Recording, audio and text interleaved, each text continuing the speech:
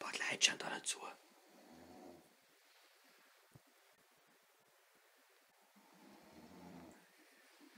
Jetzt das. So verkehrt.